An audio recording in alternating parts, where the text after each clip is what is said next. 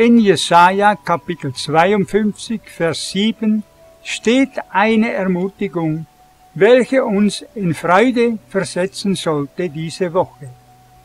Wie lieblich sind auf den Bergen die Füße der Boten, die da Frieden verkündigen, Gutes predigen, Heil verkündigen, die da sagen zu Zion, dein Gott ist König ich bin Gott dankbar, dass ich ein Bote sein darf, welcher Friede verkündigt. In einer Welt, wo kein wirklicher Friede zu finden ist, möchte ich den wahren Friedefürst Jesus bekannt machen. Solange der Mensch nicht von Jesus den inneren Frieden durch eine Bekehrung bekommen hat, wird er immer wieder Unfrieden haben mit seinem Nächsten. Das Gute, das ich predigen möchte, ist folgendes.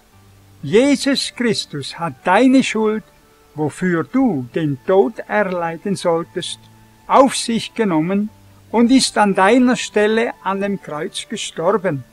Du kannst frei sein, wenn du sein Opfer annimmst.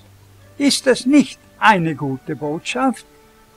Weiter möchte ich die Erlösung verkündigen an Menschen, welche gebunden sind durch Satan und keine Hoffnung mehr haben.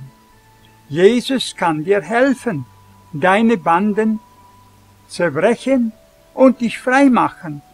Gehe zu Jesus Christus und er wird dir neue Hoffnung schenken.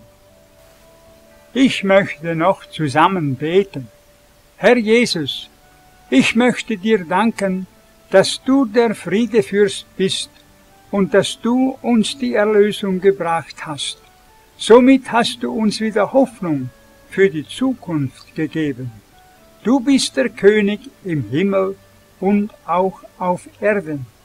Schenke, dass viele diese Botschaft weitererzählen an eine Welt ohne Hoffnung. Das bete ich in Jesus Namen. Amen.